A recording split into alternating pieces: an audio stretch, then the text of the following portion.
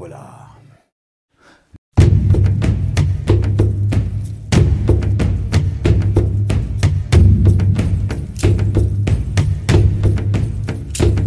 Nur aus großen Katastrophen gehen große Kunstwerke hervor, hat Orson Welles einmal gesagt. Das Desaster um das Epos Apocalypse Now, den nach The Godfather, dem Paten vermutlich bedeutsamsten Film der Geschichte, begann im Grunde bereits damit, dass John Milius, der später mit Arnold Schwarzenegger Conan der Barbar drehen sollte, auf die Idee verfiel, die schon Orson Welles Jahrzehnte davor vergebens umgetrieben hatte. Er wollte Joseph Conrads Kurzroman Herz der Finsternis verfilmen. Und der seit Orson Welles als unverfilmbar. Joseph Conrad. Joseph Conrad schrieb sich in Herz der Finsternis ein Trauma von der Seele, das eines der größten Verbrechen der Menschheit in ihm auslöste, die Kolonisierung des Kongo-Beckens durch den belgischen König Leopold II., deren Zeuge Joseph Conrad 1890, ein Jahrzehnt vor der Niederschrift seines Romans Herz der Finsternis, also um 1900, geworden war.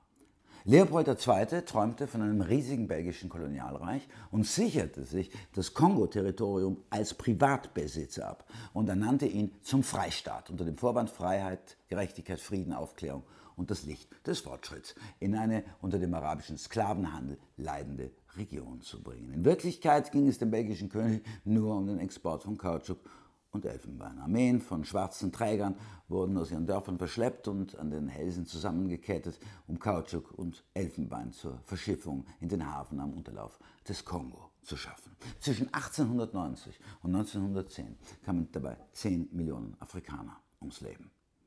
Was Joseph Conrad im Kongo zu sehen bekam, war darum auch der Urwald als ein riesiges Konzentrationslager. Sklavenköpfe schmückten die Pfosten der Agentenbüros und die Wege zwischen den Blumenbeeten. Und Conrad äh, konnte selber trotzdem nicht ausschließen, dass er sich in dieser Welt des verewigten Ausnahmezustands auf Dauer nicht in eine ähnliche Bestie verwandeln würde, wie diese Agenten des Königs. Schwer erkrankt kehrte Joseph Conrad nach Europa zurück und erst in der Niederschrift des Romans Herz der Finsternis lösten sich die Verzweiflungszustände und Albträume auf, die Conrad die folgenden Jahre hindurch quälten.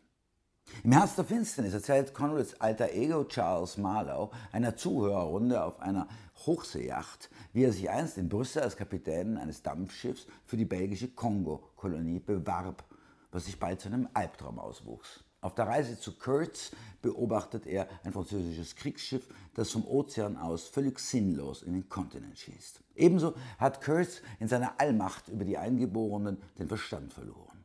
Die Eingeborenen sind gezwungen, ihn wie einen Gott zu verehren, an Massakern, sexuellen Orgien und sadistischen Ritualen teilzunehmen und er schindet sie, bis sie zu schwarzen Schatten aus Krankheit und Hunger verwandelt sind. Seine Region ist eine Region des ewigen Sterbens von den aufgespießten Schädeln seiner Opfer umgeben, ihre Augenhöhlen seinem Haus zugewandt, damit sie ihm noch in ihrem Tod ihre Referenz erweisen. Marlow diagnostiziert die Verfassung von Kurtz erschreckend knapp. Kurtz hat, so Marlow, über seine Urwaldstation den permanenten Ausnahmezustand verhängt, er foltert um des Folterns willen, er vernichtet um der Vernichtung willen, einfach weil er es kann und sich von niemandem zu rechtfertigen hat. Er glaubt sich jenseits dessen gelangt, was wir das Gute und das Böse zu nennen gewohnt sind. Doch in diesem Jenseits von Gut und Böse findet er nichts, nur schwarze Leere. Und das ist seine innerste Empfindung, das Grauen vor ihr.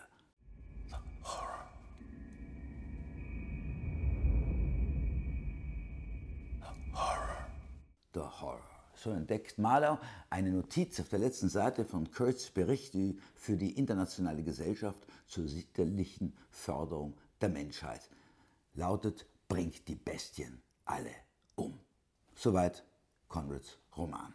John Milius nun versetzte die Geschichte in den Kontext des Vietnamkriegs. Aus dem Kongo wurde der Mekong, aus Charles Marlowe wurde Captain Benjamin Willard, später gespielt von Martin Sheen, aus Kurtz Colonel Walter E. Kurtz, später gespielt von Marlon Brando, der sich aus, aus abtrünnigen Marines und Eingeborenen eine Privatarmee geschaffen hat.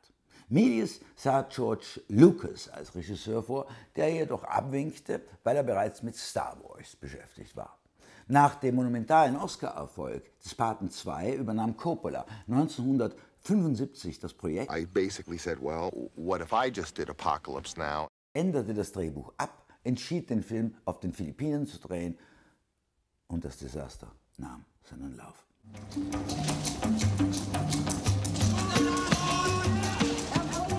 The Philippines has been chosen as the location because of its similarity to the terrain in Vietnam.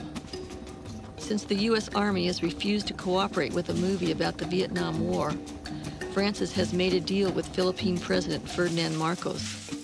Die US Army weigerte sich zu kooperieren, weshalb Coppola Diktator Ferdinand Marcos bat, ihm Helikopter zur Verfügung zu stellen, die Marcos zugleich stündlich für den Einsatz gegen Oppositionelle abflugbereit hielt. Ein Taifun zerstörte binnen weniger Stunden das gesamte Set. Aber wie als hätte Mars, der römische Gott des Krieges, so Coppola später, seine gelenkigen Hände im Spiel, häuften sich die Katastrophen noch. Bei einer wichtigen Szene zu Beginn des Films sollte Martin Sheen Benjamin Willards ganze Leere und Verzweiflung zeigen, bevor er den Auftrag erhält, Kurtz im Dschungel aufzuspüren. Sheen sollte, einsam mit sich, in einem Hotelzimmer verdeutlichen, dass er selber mit seiner Vergangenheit als Auftragskiller für den CIA und die US Army nicht klarkommt. Und zugleich dass er die dunkle Seite von Kurtz in sich trägt. Und nach Coppolas legendärem Regiestil improvisierten Coppola und Sheen die Szene zusammen, wobei sich der damals kaum mehr als 30-jährige Sheen auf Coppolas Anraten hin schwer betrank und danach einen Herzinfarkt erlitt. March 1st, 1977. Last night at 2 o'clock in the morning, Marty Sheen experienced severe chest pains. Diese Szene ist eine der ersten von vielen, bei denen sich der Zuschauer wider Willen identifiziert. In einer anderen, heute ikonografischen Szene greift Captain Kilgore, alias Robert Duval, äh, mit Richard Wagners Walkürenritt als Untermalung mit seiner Luftkavallerie einen Küstenstreifen an, um dort surfen zu können und nimmt Kurt's Größenwahn vorweg.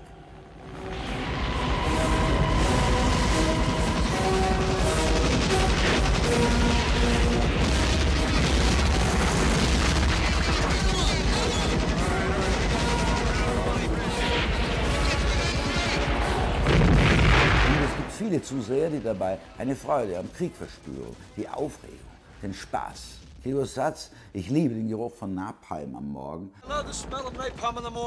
Kennt fast jeder Filmfan, wird sich dabei aber eingestehen, dass er sich damit selber ein wenig schuldig macht. Aber ungestraft. Und das ist die Pointe, der bittere Witz dieser Szene, weil Coppola selber, ein Geniestreich sondergleichen, in dieser Szene als Fernsehjournalist erscheint.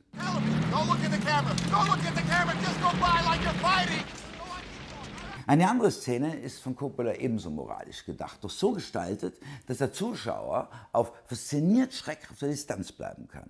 Die Schützengrabenszene an der Dolung-Brücke, ein Abbild der Szene bei Joseph Conrad, wo ein französisches Kriegsschiff in den afrikanischen Kontinent hineinschießt. Die Scharfschützen wissen nicht einmal mehr, wer hier der Siao ist und die Verantwortung trägt und bebildern damit, worin wir uns, den Titelgemäß, befinden. Wir sehen einer Apokalypse zu. Krieg wird uns bewusst, hat mit uns selbst zu tun, kommt nicht von außen auf uns zu oder an uns heran. Und ihre einmalige Höhe erreicht diese Szenengalerie der Identifikation, als wir auf Marlon Brando treffen, auf Colonel Kurtz. Als es nicht mehr um die Apokalypse durch den Krieg geht, sondern um die Apokalypse in unserem Inneren, in jedem Einzelnen. This is the end, beautiful friend. This is the end, my own.